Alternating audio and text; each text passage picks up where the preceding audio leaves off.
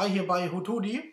Ich will euch mal ein ganz kurzes Tutorial heute zeigen. Wir hatten vor längerem mal ein Videotutorial über Autostart und macOS X. Das heißt, wie funktioniert das Ganze, wie kann man einstellen, welche Objekte zum Start des Systems auch mitgestartet werden sollen.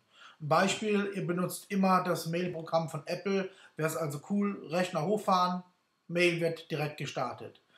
Das kann man wie in dem einen Tutorial, den Link habe ich euch unten in meinen Text gepostet, so machen, das heißt über die Systemeinstellung etc. Das geht aber noch viel, viel einfacher.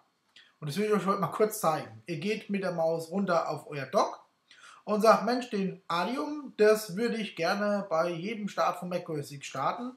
Rechte Maustaste Optionen, bei der Anmeldung öffnen.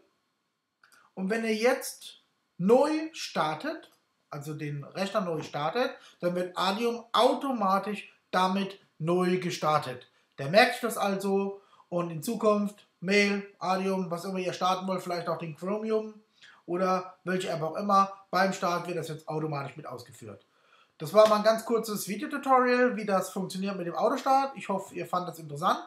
Und ja, wir sehen uns bei meinem nächsten Videotutorial hier bei Hotodi. Bis dann. Tschüss.